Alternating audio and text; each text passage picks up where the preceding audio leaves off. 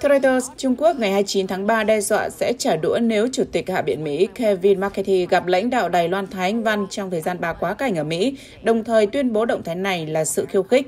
Bà Thái dự kiến khởi hành vào trưa 29 tháng 3 cho chuyến công du đến Guatemala và Belize. Trong chuyến đi, bà Thái sẽ ghé qua New York và Los Angeles, Mỹ, mặc dù chưa xác nhận chính thức. Các nguồn thạo tin nói lãnh đạo Đài Loan có thể gặp ông McCarthy ở California vào cuối chuyến đi.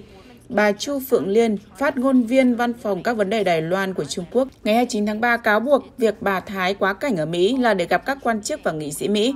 Nếu bà ấy tiếp xúc với Chủ tịch Hạ viện Mỹ McCarthy, đây sẽ là một hành động khiêu khích khác, vi phạm nghiêm trọng nguyên tắc một Trung Quốc, gây tổn hại đến chủ quyền và toàn vẹn lãnh thổ của Trung Quốc, đồng thời phá hủy hòa bình và ổn định ở eo biển Đài Loan. Trung Quốc kiên quyết phản đối hành động này và chắc chắn sẽ có biện pháp kiên quyết chống trả. Tuy nhiên, Trung Quốc chưa đưa ra chi tiết. Trung Quốc đã nhiều lần cảnh báo các quan chức Mỹ không được gặp bà Thái Anh Văn, xem đây là hành động ủng hộ Đài Loan đòi độc lập. Trung Quốc coi Đài Loan là một phần lãnh thổ của mình và không loại trừ khả năng dùng vũ lực để tái thống nhất.